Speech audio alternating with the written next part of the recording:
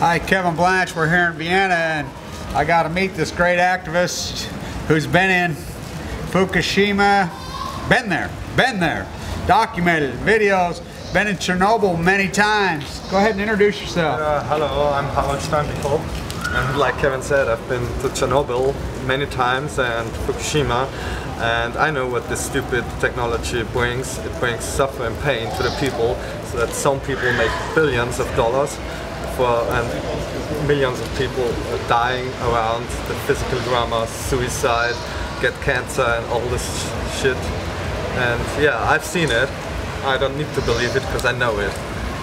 Yeah, and he- I got to see incredible footage he has from Chernobyl, the photographs, uh, but more than that, Fukushima. You, sh- you know, the photographs that he showed me on his computer from inside Fukushima, the story of Fukushima, the ghost train he showed me that goes in and out of there eight times. They videoed it. They they they photographed it.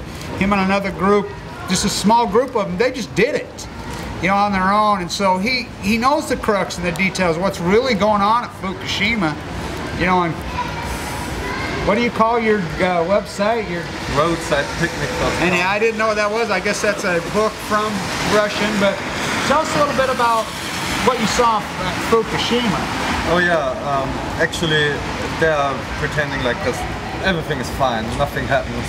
And I was measuring by myself with my Geiger counter, even uh, 80 kilometers away, I think that's about 60 miles, uh, in Fukushima, in the capital, in the city, 280,000 people. They got this indoor playgrounds for the children, and in the front entrance is high radiation. So what's this all for?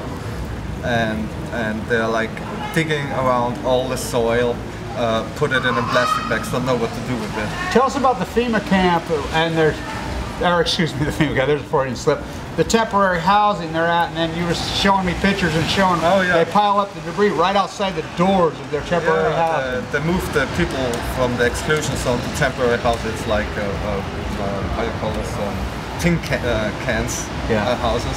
And if he wakes up in the morning, opens the window, looks outside, he sees this radioactive soil, a, a big hill. I mean, you saw the picture, a big hill in front of his house. I mean, this must be depressing. It is actually. Depressing. Yeah, it's actually the waste that they're sacking up. They're piling up right in front of these poor people, and then, you know, you verified the suicide that's going on over there. Oh yeah, I've uh, heard. I've interviewed this farmer, which uh, uh, his woman uh, that, that, that they are not allowed to go back to their farm to the house. It's a really nice house.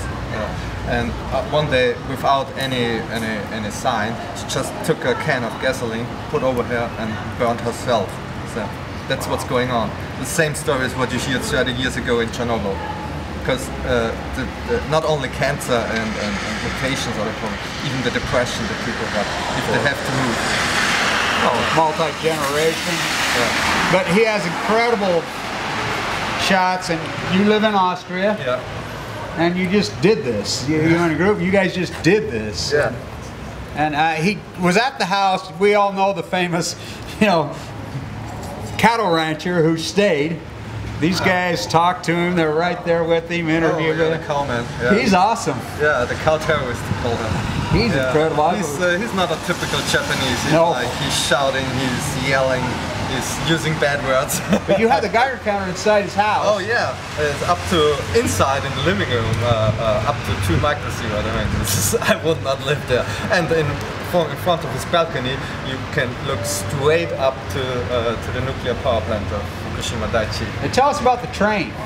as Oh yeah, um, there's this train. Uh, there are many ghost uh, villages this area, and it's next to the coast. And the government wants to force that the the, uh, the, line of the train goes through back to the north. But the uh, uh, unit workers they're fighting against this. So the government says, yeah, the, the, train goes to this village. Yeah, it's uh, I don't have the name now, but. Uh, it, the train goes eight times a day to a ghost city, and we were watching the train arriving. Nobody's in there, and then he's waiting ten minutes and drives back. And that's what he makes Eight times a day. Eight times a day.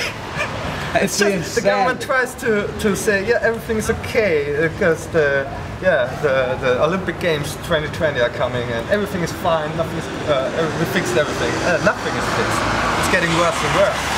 But I Now, you were telling us you went in Fukushima City, which is how far away from the 80 kilometers, uh, so about 50, 60 And your you guys' readings were how high? Even there. Uh, it, uh, we had background radiations in this park with seven microsievert. Wow. It's a park where young couples go to dating. It's Wow. really romantic and nice there.